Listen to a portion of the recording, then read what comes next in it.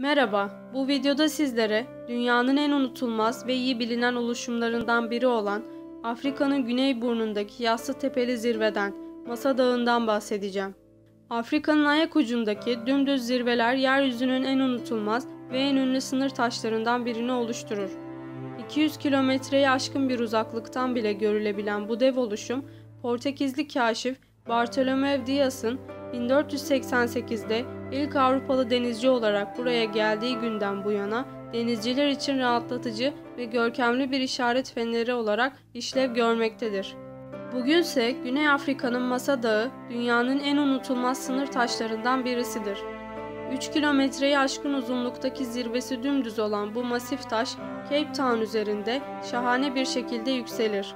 Bu dümdüz zirveden bakıldığında aşağıda uzanıp giden kentin ötesinde batıda Atlantik Okyanusu'nu, güneyde Ümit Burnu'nu ve kuzeyde de göz alabildiğine uzanan Afrika'yı görebilmek mümkündür.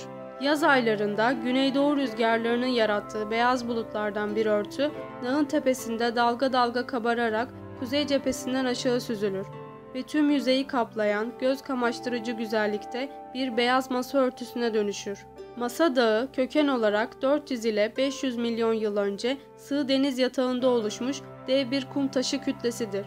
Jeolojik altüst oluş o zamandan bu yana bu oluşumun zirvesini denizden 1086 metre yükseğe kaldırmıştır.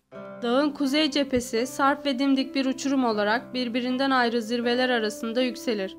Doğu tarafında Şeytan Zirvesi ve kuzeybatıda da Aslanbaşı bu iki ayrı zirvenin ismidir. Zirvenin altında ise Masa Dağı'nın yeşil yamaçları, vahşi çiçeklerin oluşturduğu pırıltılı bir panorama sunarak aşağılara doğru uzaklaşır. Bugün en az 400 adet patika ve her yıl yarım milyon insan taşıyan bir teleferik, bir zamanlar aslan ve leoparların bölgesi olan bu dağa erişim sağlıyor.